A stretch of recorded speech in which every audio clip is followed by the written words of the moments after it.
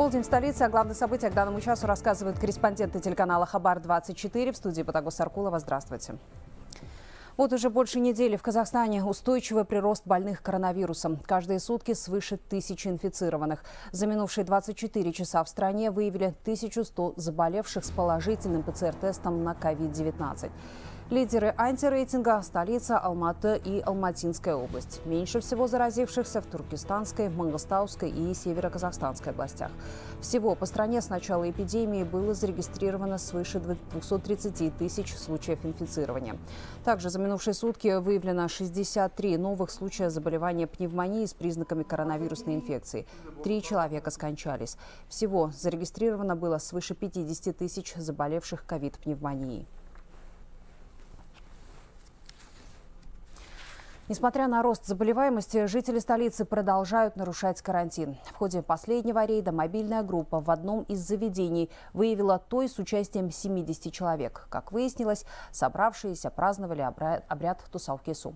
В числе гостей были пожилые люди и маленькие дети, которые, кстати, находятся в зоне потенциального риска. В самый разгар гуляний мобильная группа нагрянула и на другую вечеринку в другом кафе. Забыв о действующем запрете, отдыхали около 100 человек. О социальной дистанции на танцполе посетители и не вспоминали. Отмечу, что с начала года в столице выявили больше 500 подобных нарушений карантина. Между тем, город все еще остается в красной зоне. За последние сутки коронавирусом заразились еще 185 человек. Из-за ухудшения эпидситуации и роста числа заболевших в это воскресенье в столице не будут курсировать городские и пригородные автобусы. Об этом говорится в постановлении главного санврача. 28 марта в них будут проводить дезинфекцию. В субботу, то есть завтра, движение маршрута будет организовано в обычном режиме. Жители просят не забывать о соблюдении масочного режима. Вход в автобус без масок по-прежнему запрещен. Оплата проезда производится только безналичным способом.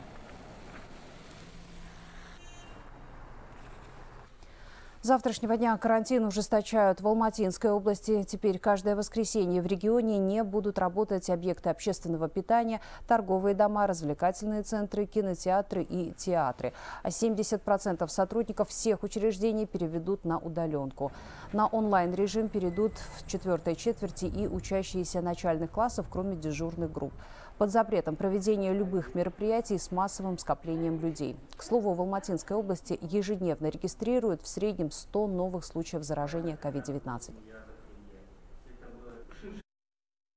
Эпидемиологическая ситуация очень напряженная. Алматинская область находится в желтой зоне. За последние две недели наблюдается рост заболеваемости в сравнении с предыдущими двумя неделями и э, предыдущими двумя месяцами. Поэтому были приняты такие решения, чтобы максимально предотвратить распространение коронавирусной инфекции. В Алматы резко выросло число случаев заболевания коронавирусом среди школьников. Только за последние сутки опасной инфекцией заразились 28 детей. В Департаменте санитарно-эпидемиологического контроля отмечают, что рост произошел именно на весенних каникулах. По словам специалистов, источником заражения в основном становятся родственники. По сравнению, для сравнения отмечу, с сентября по декабрь прошлого года в мегаполисе зарегистрировали 281 факт заболевания среди учеников, а с января по сегодняшний день выявлено уже больше тысячи инфицированных детей. Чаще стали болеть и малыши дошкольного возраста. За минувшие сутки зафиксировано 17 таких случаев. А всего за прошедшие 24 часа в Алматы выявили еще 330 заболевших.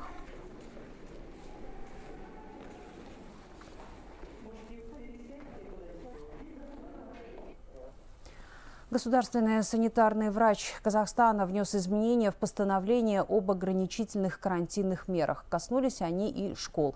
Согласно документу, в четвертой четверти городские и сельские учебные заведения до 300 учащихся вернутся к традиционному формату. В регионах, расположенных в желтой и зеленой зонах, обучение будет организовано в комбинированном формате для всех классов с численностью не более 25 человек. Красной зоне занятия также останутся комбинированными для выпускников 70% уроков будут проходить в штатном режиме, остальные – в дистанционном. Однако при этом должно соблюдаться основное требование – не более 15 человек в классе. Подробнее о том, как будут учиться казахстанские школьники в четвертой четверти, представители Министерства образования и науки расскажут сегодня на брифинге в службе центральных коммуникаций. Он пройдет в прямом эфире нашего канала. Начало запланировано на 14.30. В Казахстане приняты дополнительные меры по предупреждению завоза COVID-19 в республику. Теперь наши граждане будут сдавать ПЦР-тест перед вылетом на родину. Организация исследования на COVID станет заботой туроператоров, поскольку услуга стала сервисной. Новое постановление главного государственного санврача страны вступило в силу сегодняшнего дня. Ирлан Киясов поручил проинформировать всех туроператоров об изменении требований к лицам, возвращающимся в Казахстан из-за рубежа. Напомню, ранее с этой инициативой выступила Ассоциация туроператоров Казахстана. Течение 60 дней допустимо получить вторую дозу вакцины от коронавируса, но только в исключительных случаях. Об этом также говорится в новом постановлении Ирлана Киясова. Он пояснил, что данный срок распространяется на определенные отдельные ситуации, когда по объективным причинам нет возможности получить прививку вторым компонентом, например, из-за болезни или выезда из населенного пункта. Напомню, иммунизация в Казахстане проходит в два этапа. Сначала первым компонентом, затем, согласно инструкции через 21 день второй дозы вакцины. В постановлении санврача отмечается, что увеличивать этот интервал не рекомендуется, так как это может повлиять на формирование иммунного ответа и привести к снижению эффективности вакцинации. Сейчас о ситуации с коронавирусом в мире. Власти Дании продлили срок приостановления вакцинации против коронавируса препаратом компании AstraZeneca. Минздраве страны сообщили, что продолжат изучать связь между иммунизацией и образованием тромбов. Для этого специалистам потребуется еще как минимум три недели.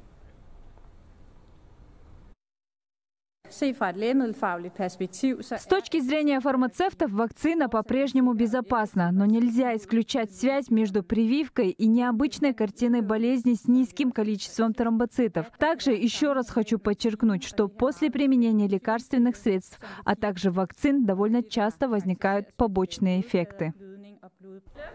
Напомню, Дания вслед за рядом европейских стран приостановила использование оксфордской вакцины после сообщений о нарушении свертываемости крови у привившихся. Отмечу, согласно последним опросам, 33% датчан не готовы вакцинироваться препаратом от AstraZeneca. Тем временем американский президент Джо Байден поставил новую цель – вдвое увеличить объемы вакцинации населения за первые 100 дней президентства. По его словам, 100 миллионов доз прививок жители штатов уже получили. Американский лидер отметил, цитата, «Это амбициозно удвоить нашу первоначальную цель но ни одна другая страна в мире не приблизилась к этому, что мы делаем. Напомню, США лидирует по количеству зараженных коронавирусом в мире. С начала пандемии инфекция подтвердилась у более чем 30 миллионов человек. Польша вводит дополнительные коронавирусные ограничения. Из-за ухудшения пит-обстановки до 9 апреля приостанавливают работу салоны красоты, мебельные и строительные магазины. Спортивные объекты остаются открытыми только для занятий профессиональным спортом. Компаниям рекомендуется перевести своих работников на дистанционную работу. Напомню, Польша еще 20 марта вернулась в национальный локдаун. На всей территории страны закрыты гостиницы, торговые центры, кинотеатры и музеи. А накануне там зарегистрировали новый суточный максимум заражений за все время эпидемии – более 34 тысяч заболевших. Действующие в Грузии карантинные ограничения пока не дают возможности туризму возродиться. И хотя с марта при наличии отрицательного ПЦР-теста можно попасть в эту страну, большинство гостей на горнолыжных курортах. А вот в столице, которая весной уже принимала тысячи туристов, их пока очень мало. Поэтому многие отели и рестораны даже не открылись. Какие запреты мешают полноценному отдыху в Грузии, выясняла Юлия Тужилкина. Туристическое место в Тбилиси пока по-прежнему пустынно. Однако туристы новой волны уже есть и отдыхают в условиях существующих ограничений, а порой и открывают и новые направления для развития этой сферы. Отдых в Грузии сейчас существенно отличается от прежнего. Например, комендантский час препятствует вечерним, длительным или загородным экскурсиям, а карантин выходного дня не позволяет работать ресторанам. Если в марте прошлого года в стране действовало 10 тысяч учреждений общепита, то сейчас из них 4 тысячи. И только половина из них работает, и то не в полную силу. И теперь уже нет того, что привыкли видеть в вечерних грузинских ресторанах иностранные гости, живой музыки и национальных танцев. Работа до 9 часов это не дает возможности. Живая музыка, так сказать, только соло-музыканты могут сейчас что-то зарабатывать, потому что ресторан сам не может заплатить э, больших музыкальных э, группов или танцоров, которые могут в ресторане работать. Вот это э, большая проблема. В стране запрещены массовые мероприятия, потому большие рестораны даже не открываются, впрочем, как и отели. Крупным учреждениям в существующих ограничениях и при малом количестве гостей работать невыгодно. А еще усугубляет проблему неизвестность. В стране вакцинация проходит медленно, и эпидемиологи уже заговорили о третьей волне пандемии. Но есть и те, кому уже повезло встречать первых туристов. Виталий Джаранашвили вместе с супругой владельцы мини-отеля. Из-за отсутствия перспективы и бронирования номеров на весну не могут нанять вспомогательный персонал и пока выполняет всю работу работу самостоятельно. Мы э, делаем все э, то, чтобы значит, э, человеку, гостю нашему, было здесь комфортно и приятно. Значит, но есть определенные сложности. Это, естественно, сохранившийся комендантский час, который в корне препятствует значит, привлечению туризма по объективным причинам. Также значит, э, ПЦР-тесты накладно обходятся для наших гостей, э, что также может неблагоприятно сказаться на туризме. Петербуржец Инал Хугулов уже второй раз посещает Грузию. Конечно, рад отдыху. Он целый год работал в красной зоне, в ковид-клинике. Сам переболел коронавирусом и приехал подлечиться. Однако сожалеет, что в стране многое пока под запретом. В плане э, отдыха тяжело э, в том э, плане, что э, в 9 часов уже бывает комендантский час. То есть иногда не успеваешь даже добираться до места нахождения в Тбилиси, к примеру. Вот, все закрыто в основном, то есть основные места для туризма, они э, не всегда доступны в условиях пандемии. Пока в Грузии закрыты театры и концертные залы, запрещены многолюдные экскурсии. Везде, включая открытое пространство, действует масочный режим. Из развлечений, пожалуй, доступны только музеи и выставки. И опытные туроператоры сейчас в корне перестраивают предложения. Например, рекомендуют оздоровительный туризм и советуют гостям тщательнее планировать свою поездку с учетом действующих регуляций. Юлия Тужилкина, Шалва Сурилашвили, Хабар 24, Грузия, Тбилиси. Еще о событиях в мире. Массовые заторы в Берлине. Более сотни большегрузов заблокировали движение на центральных улицах столицы Германии. Таким образом, водители фур решили напомнить о имеющихся проблемах в сфере транспорта и логистики. Это уже третья их забастовка за последний год. Однако участники говорят, что время идет, а ничего не решается. По словам водителей, на рынке грузоперевозок царит нечестная конкуренция. Мол, логистические компании все реже берут на работу дальнобойщиков из Германии, а предпочитают предлагают нанимать их коллег из Восточной Европы, чьи услуги в разы дешевле. Демонстранты подчеркивают, есть закон, в котором прописаны ограничения на деятельность иностранцев, но очень трудно проверить, сколько заказов они действительно выполнили. По этой причине страдают местные водители. Они требуют от политиков жестче контролировать рынок грузоперевозок. Водитель из Румынии может работать за 400 евро, польский за 1800, а зарплата же немецкого водителя 3000 евро. Есть закон, по которому иностранный дальнобойщик может выполнять в неделю только три заказа, но они остаются и продолжают нелегально заниматься перевозками. Поэтому мы требуем ввести цифровую систему, в которой бы сохранялись все данные, геолокация, информация о водителе и сколько выездов он сделал. Нам нужна честная конкуренция. Вокруг судна, севшего на мель на Суэцком канале, начали углублять дно. Экскаваторы выгребают песок у передней части контейнеровоза, а гигантские буксиры пытаются вытащить корабль. Напомню, 23 марта застрявшее судно полностью заблокировало движение по Суэцкому каналу. Изначально предполагалось, что спасательные работы займут пару дней. Однако позже специалисты сообщили, что на это могут уйти недели.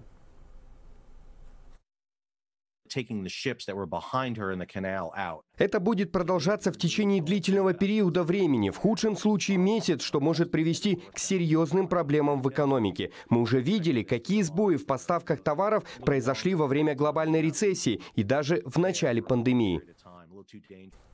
Смертельная торнадо пронесся по нескольким городам американского штата Алабама, сообщает Рейтер. Как минимум пять человек погибли и еще десятки пострадали. Смерч разрушил целые кварталы и повредил линии электропередач. Десятки тысяч жителей остались без света. Сильный ветер снес крыши домов и повалил деревья, заблокировав дороги. На месте работают спасательные бригады. Сейчас власти оценивают ущерб, нанесенный торнадо.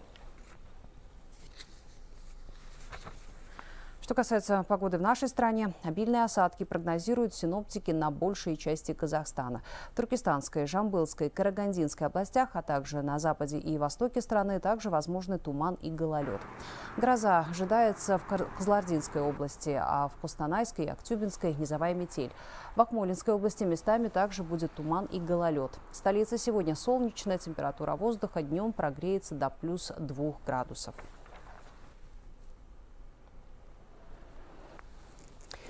Тем временем столичные коммунальщики до сих пор устраняют последствия небывалого для марта снегопада. А на юге страны тепло настолько, что в Шимкенте раньше обычного распустились тюльпаны и зацвели фруктовые деревья.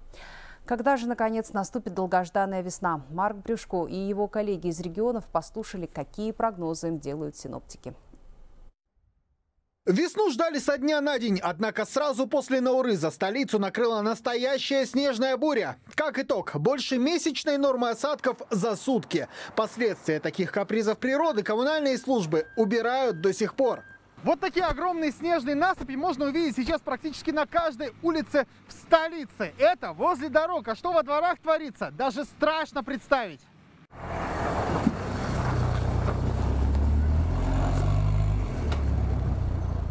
Конец марта, а вокруг по-прежнему январские пейзажи. Однако горожане, кажется, не особо расстроены. А удобств никаких. Почистили мы. Дворники пришли, почистили около подъезда. Мы сходили в магазин. А нам что надо, старикам? Нет, в марте не помним, чтобы в марте такой снегопад был. Это за всю зиму первый такой сильный снегопад у нас. Давненько такого не было. Мы привыкшие, мы родились здесь, выросли, поэтому такая погода, это бураны для нас вообще э, нормально. Мы выросли в этих буранах. А между тем синоптики предупреждают, хорошей погоды ждать в ближайшие дни не стоит. В предстоящие три дня на большей части Казахстана сохранится неустойчивый характер погоды. На территории нашей страны объединятся два циклона из районов Средиземного моря и Северо-Западной. С их приходом почти во всех регионах ожидаются осадки, местами сильные, гололедные явления, метели, а вот где точно бы сейчас не отказались очутиться горожане. Юг страны. В Шимкенте плюс 25. И там гораздо раньше обычного начали цвести тюльпаны. Из-за резкого потепления зацвели и фруктовые деревья. Специалисты говорят, что сильных морозов шимкенцам больше не стоит ждать, а вот дождей будет много. В ближайшее время мы не ожидаем резкого понижения или увеличения температуры. Она будет постепенно уменьшаться, но не сильно. Будет характерная для весны погода, никаких аномалий. 70% территории Западно-Казахстанской области еще покрыто снегом. Высота снежного покрова на треть выше нормы и местами достигает 40 сантиметров. Потепление там только ждут, однако на неасфальтированных трассах уже бездорожье. Прогноз на 27-28 марта. Э, ожидается осадки, местами снег, дождь, гололед. Э, температура воздуха ночью 3 градуса мороза, э, днем 2-7 градусов тепла. В начале следующей недели ожидается морозы, ночная температура доходит до минус 8 градусов.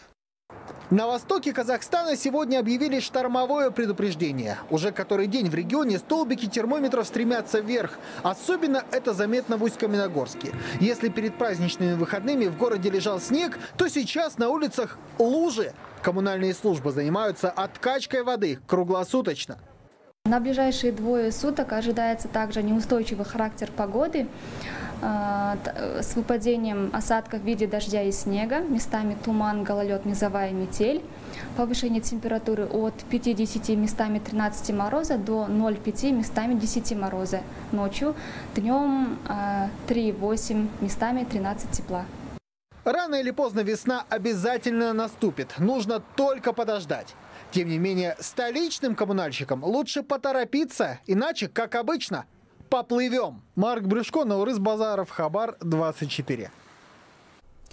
По непроходимой грязи и лужам приходится добираться до областного центра и обратно жителям Женебекского и Букиюрдинского районов Западно-Казахстанской области. Трасса от Косталовки почти 250 километров, сплошное бездорожье. На кадрах любительского видео видно, как автомобили буксуют по самую крышу, заляпанной грязью. Всего 100 километров водители преодолевают почти за 10 часов. Дело в том, что дорогу утопят талые воды. Ремонт трассы Косталовка-Женебек до границы с Россией начался два года года назад. Срок завершения работ – 2023 год. В этом году планируют заасфальтировать почти 60 километров. На проблемный участок направлена дежурная техника, но строители смогут начать работы только при благоприятных погодных условиях.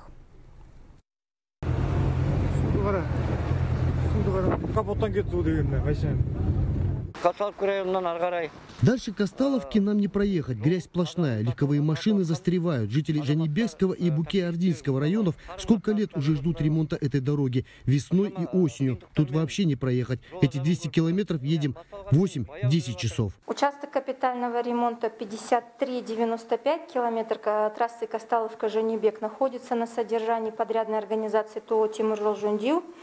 Э, на местах организовано дежурство. Получается, в данный период э, ведутся работы по спуску воды. Э, с наступлением благоприятных погодных условий будет профилировка дороги. При возникновении внештатной ситуации все пользователи дорог могут обратиться по колл-центру 1403. Казавтожол своевременно будет принят звонок и среагирует. В Актубе некоторые участки дорог за зиму пришлось, пришли в негодность. Теперь подрядчики переделывают некачественно отремонтированные дороги. С начала года выявлено уже три подобных участка. Компаниям направили письма с требованием устранить недочеты. Сделать это фирмы должны за свой счет. В прошлом году зарегистрировано 20 фактов, когда подрядчики, недобросовестно выполнившие свои обязательства, вновь ремонтировали объекты. Сейчас обследование участков продолжается. Насколько соблюдена технология при строительстве, проверяют специалисты Национального центра качества дорожных активов. Те дороги, которые были ранее сделаны, это в 17-18 годах, то на них порядка шести исков сейчас уже идет рассмотрение. В том числе и говорим про те участки, которые наша комиссия сейчас дефекты выявили. И сейчас направляется непосредственно тем подрядным компаниям, которые занимались строительством этой дороги. В случае неисполнения мы будем подавать, соответственно, в суд. У нас сейчас идет э, дефектный акт, э, составлен по улице Тургенева под Пятым мостом у нас есть, и на Батсе, и в Сити. Сейчас прервемся на рекламу, она пройдет быстро, не переключайтесь.